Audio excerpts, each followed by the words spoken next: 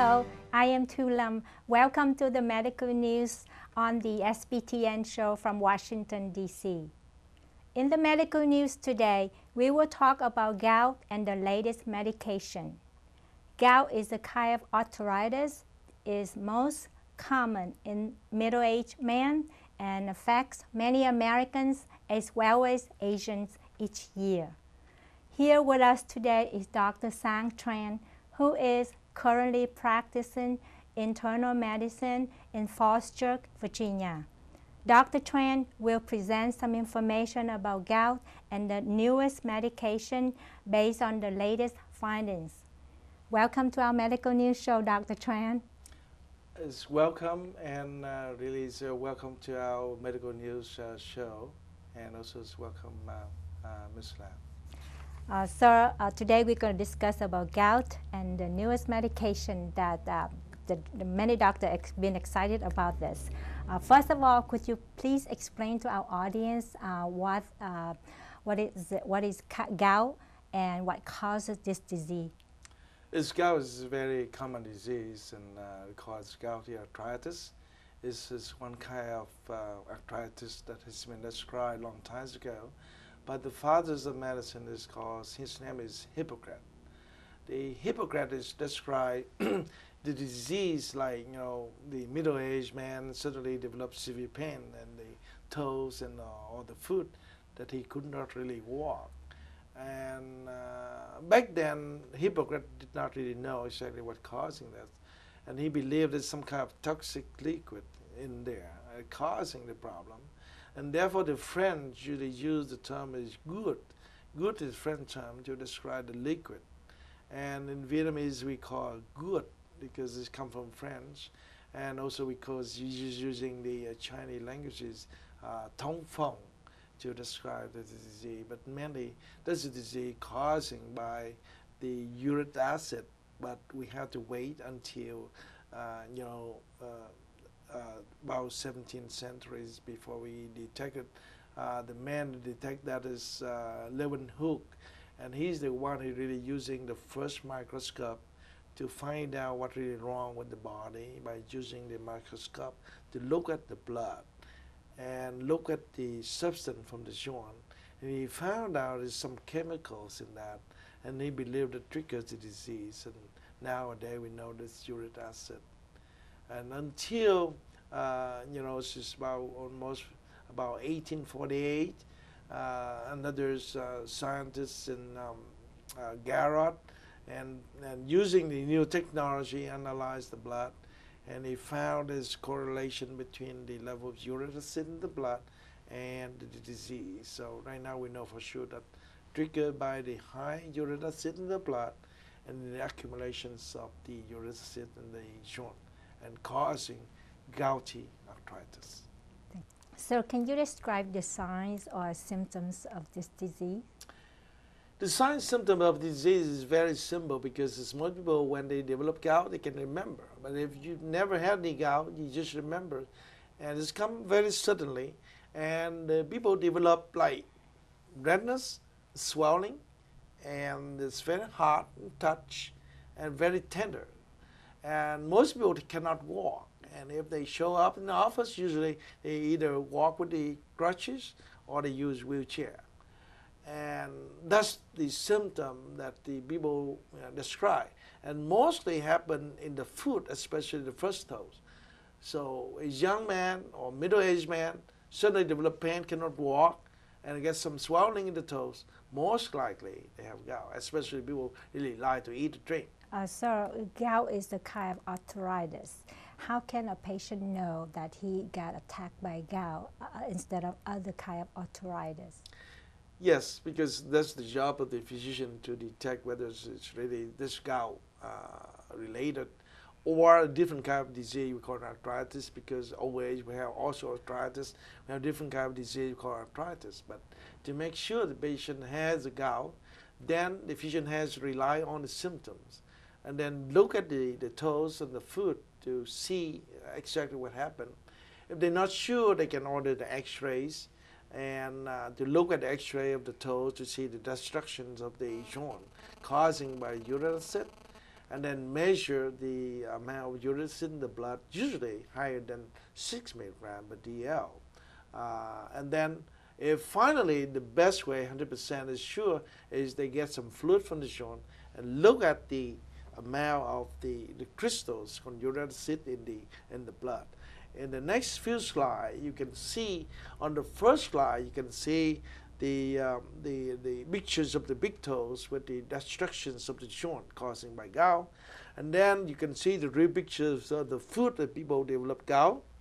And the third picture you can see is gout develop in the fingers as well. And the next one is in the elbow. Now these locations are very common in gout. It's not just the, the, the toes. So now the next one you can see the x-ray, you see the destruction of the first toes on the x-ray on people who have gouty arthritis. And finally, if you look at the pictures here, you can see very tiny needles. needles. These are the crystals found the fluid aspirate from, from the joint. These are the key to make the diagnosis. This is definitely is gouty arthritis. So um, how can you tell whether a person is um, more prone or have high risk in uh, gout disease? And gout also, is it a genetic disease? Yes, definitely. It is because it's these random families and uh, we don't have much time to talk about that. But mostly people is men and then is obese and like to eat a lot of meat and drink beers. So basically, and then run the family. So you know these are the, the people who have some high risk to develop gout, especially. So therefore, in the old days, more the king and more the rich and famous people they develop gout because they eat a lot and they usually like to drink as well as beer and different kind of alcohol. But beer is the most important. Therefore, in the old days, we call king disease. I mean, the disease related to the owner king and the rich people. But nowadays, they recognize it also happened to the poor because the poor drinking more because of the economy and everything, and they, you know, they eat, but they really not really careless about choosing the good food. But the rich people now pay attention more on how to eat healthy food. So right now it's transfer from the disease the king and the rich to the disease of the, the, the, the, the lower class as well uh, right now based on the study. But the second group is people really the medicine they're taking for to treat uh, you know edema. I mean, there's the retention of water in the body or hypertension. Uh, for instance, like the diuretics and furosemide and hydrochlorothiazide is very commonly used in the people with hypertension. And they can trigger gout because they decrease the excretion of uric acid to the kidney.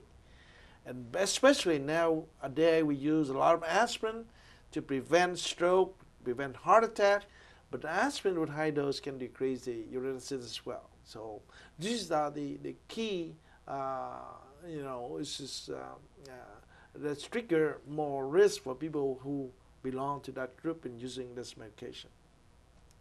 So uh, please tell us what, uh, what the current treatment for gout are for example, uh, the use of medication, uh, the uh, restriction of diet, or furthermore, can gout be uh, cured permanently? Yes, I think it's just uh, three parts of that. It's just, uh, the first one is the diet is the most important one because we notice that we're able to control the diet, especially avoid the meat. The meat provides the purine triggers uric acid. Uh, but unfortunately, it's not just from the meat because the uh, organ meat like liver, kidney, and different things that the Asian people like to eat have a lot of purine as well. And along with that is uh, the people with gouty arthritis, they have to avoid asparagus, uh, different beans, like uh, lima beans, uh, black beans, and because they, especially tofu, especially having a lot of protein, and therefore people really you know, uh, like vegetarian also develop gout as well if they eat a lot of uh, these food as well. But it's very important is they have to avoid beers and alcohol because that that's combined the, the, the, the preventive uh, uh, approach to treat the disease. And secondly, we have the medication. But really, uh, in the history of gout, because the most medicine we use is long term, and the condition is using to treat the uh, gout has been using for 100 years and a long times ago. in uh, Middle East, and they use from the herbal medicine and transform to, and with the technology, we make the medicine consistent now to treat the gout. And then be, beside that, we use the anti-inflammation medication like indocin, uh, ibuprofen, and including prednisone, a corticosteroid, to decrease the swelling of the, the gout. And uh, beside that, we have the medication to suppress the uric acid or decrease the amount of uric acid in blood like allopurinol and probenecid, probenecid to excrete the uric acid to the kidney. But for the last 15 years, 50 years, uh, we haven't had any really new medication. Until this year, 2009, we have new medication come out to help people with gout. And this is very exciting for, uh, for most physicians, or most the healthcare professional, because you have, at least we have something new to, to choose to use. What about, can it be cured completely? Cannot be cured because when uric acid accumulates in the joint, it stay, usually have stay there. The only thing we have to do is to prevent uric acid from accumulate more in the joint. Because, because if they accumulating more, then they develop different kind of swelling, and we call it tophi. They mean big swelling in the hands, the toes, and different area, knee and elbow, and that's that's that's so bad. And usually people develop pain every day. It's not not attack anymore, but they develop pain and every day. It's difficult to to treat. So let's talk about the, the most excited news that you talk about, uh, the new medication that um, you mentioned earlier, uh, how effective this medication is Yes, the medication is, is really is uh, a little bit uh, excited, but not really the breakthrough in medicine because uh, this medication has been studied for years and uh, they already approved in Europe in last year in April, but this year in the United States, the FDA, the Federal Drug Administration approved this medication to use for gout in uh, March of uh, 2009. Basically, this medication is to decrease the uric acid production in the blood. Remember, in the biochemistry and the, all the chemistries in the blood, mostly whatever we eat, the protein will go to the blood. And from protein, they break down to purine. And from purine, they have to go to different steps to break down into hypoxanthine. From hypoxanthine, they go to xanthine and for xanthine, they will break down further to uric acid that the final product needs to be excreted to the body. Now, in each step of the chemical reaction, they need the, uh, chemical to catalyze that. We call xanthine oxidase. So xanthine oxidase catalyze the production of uric acid throughout the step in the chemicals happen in the blood. Where this medication blocks the xanthine oxidase, Therefore, they decrease the amount of uric acid production in the blood. So that's mainly the main action of this medication. So therefore, when we use this, we hopefully we decrease the uric acid in the blood, then prevent the uric acid to accumulate in the joint, and hopefully prevent the acute attack. So before closing the medical news show, uh, uh, can you please give our audience some advice, general advice on the gout? My advice is to on the audience because the old saying is that everything, every sickness has come from the mouth, and everything disasters come from the mouth as well. So the best thing is is we try to limit ourselves uh, different kind of food, especially with gout. Avoid eat too much meat and too much beans and uh, tofu stuff like that, and especially avoid drinking beers. And beers is the key. It triggers gout. So if we're able to do that, I think we may be able to prevent a lot of uh, sickness beside gout, like high cholesterol, and uh, prevent other uh, the disease and, uh, and the body as well. So this is, I think, is the advice and to every disease of the body, but mostly from eating too much. Thank you so much for being uh, with us today, sir. Yeah, thank you for listening to us uh, today, and thank you again, uh, Mr. Lam. Dr. Sang Tran just shared with us some information about gout disease and the latest medication. We hope that the information provided by Dr. Tran has shed more light on the gout.